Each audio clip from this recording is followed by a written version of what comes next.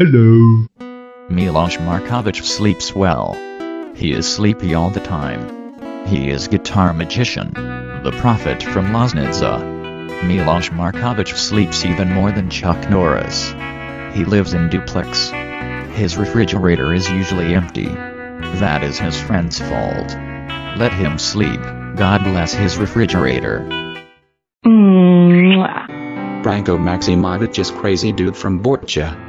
Sorry, that's a pleonasm. He likes to eat pickles, usually with strawberry jam.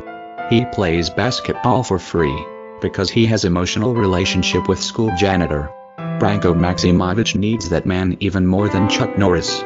He is the wizard. Nikola Lubitsch is an alcoholic. He drinks too much. I repeat, he drinks too much.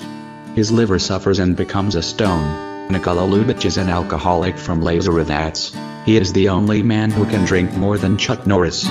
He is the master of drinks, but it's okay, he is a doctor. Alert, alert. Petar Lovric is the godfather. Not chubby, but big boned. The master of universe. He invented many techniques of learning. Petar Lovric sells everything. Gold, silver, car batteries. He is better merchant than Chuck Norris.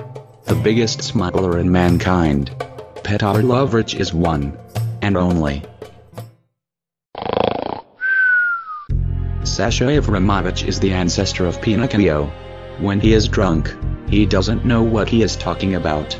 He is big fucker from Lazarevac. Once, he fucked for 140 minutes. Sasha Avramovich can fuck even longer than Chuck Norris. He is big-nosed liar.